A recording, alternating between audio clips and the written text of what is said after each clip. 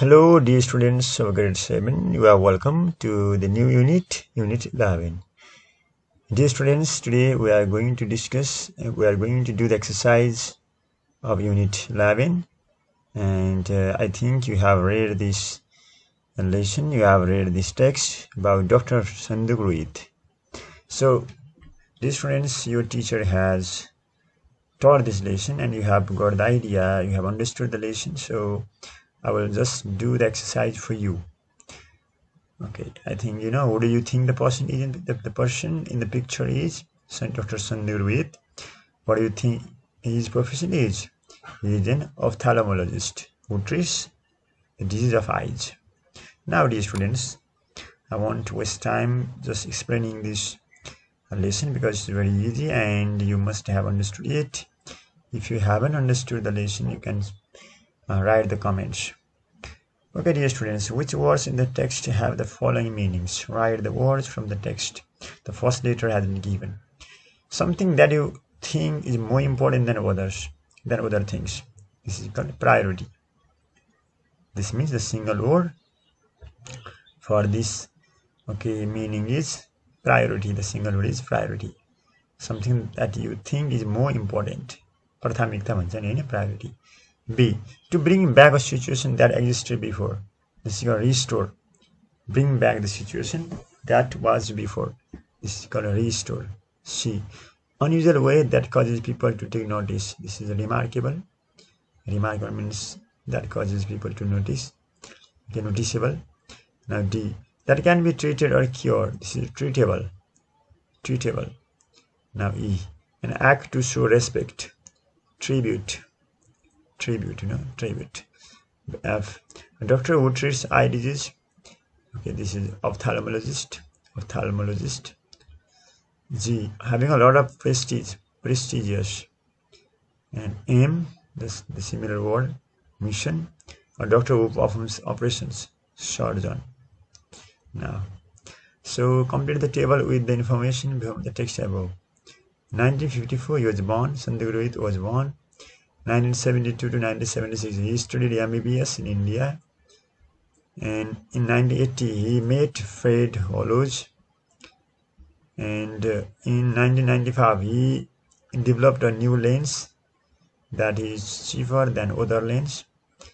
In 2006 he was awarded you know, he was awarded the Ramon Magsaysay prestigious prize.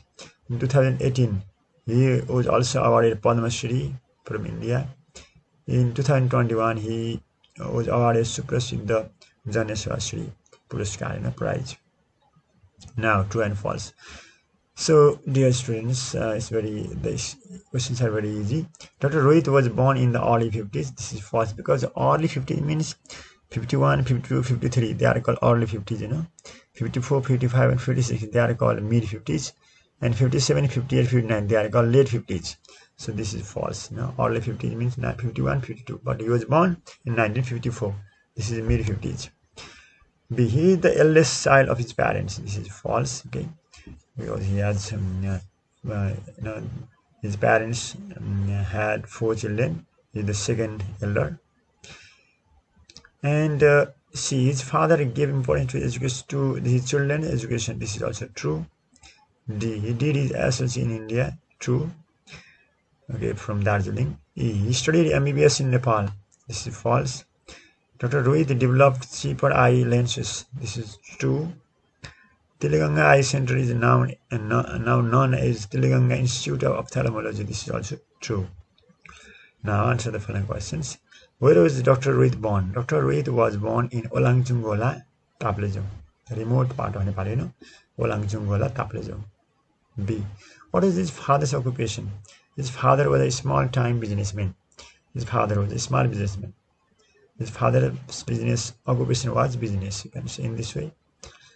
See how far was the nearest school from his home?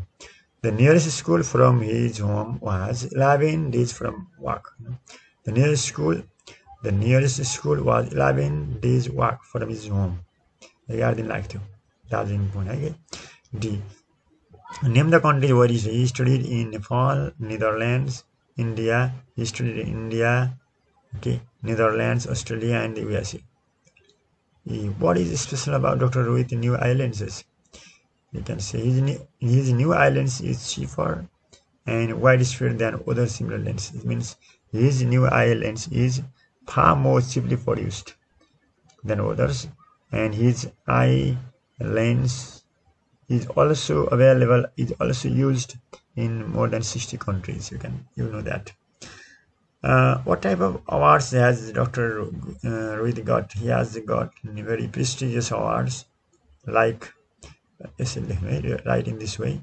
He has Dr. Ruit has got uh, prestigious awards like Ramon Magsaysay, Padma Shri, and Suprasiddha. Okay, in Nepal, or uh, you know, Suprasiddha. Uh, yes, you know that. Um, yes, Suprasiddha Prabal Janeshwari first. So he has got such very prestigious awards. Now, dear students, let's do this uh, uh, exercise. Uh, use relative clause. I have a friend who speaks four languages. You know, who is used before okay person uh, in subjective case. You know, so I have a friend who speaks four languages. We should only buy products which can be recycled. Products they are things. So with things we use which for that. See i can find the pen which i borrowed from you. This is also a thing. Do you remember the park where we met? So this is place you know. With place or uh, before place we should use where? E. at the party there were three people. Who knew me? People after people who yeah i want to see the film which everybody is talking about film is also okay uh, with film we should use which G. What's the name of the film What's the name of the man who lives next door? Yes, this is the computer which I bought from my friend. I. Look at the man who is dancing with your sister. That's the house where I lived as a child. Now, combine the sentences using who, which, or where. Beginning of each sentence is given with. These are the friends I met them in Kathmandu. These are the friends whom I met in Kathmandu so you have to use whom no? so uh, you can write in this way hmm. next one is b that's the neighbor who helped us who helped us and next one hmm. next one what's the name of the film you watched the film yesterday what's the name of the film which you watched was yesterday or that you can see which you watched yesterday okay next one is Okay, he drives a car. The car is very, very expensive. He drives a car which is very expensive. Next, E. The octopus is the only animal uh, it has, which has three hearts. Which has. Now we have that's the shop. Where you know this is place with place we have to use. Where? Uh, that's the shop where I bought my TV from.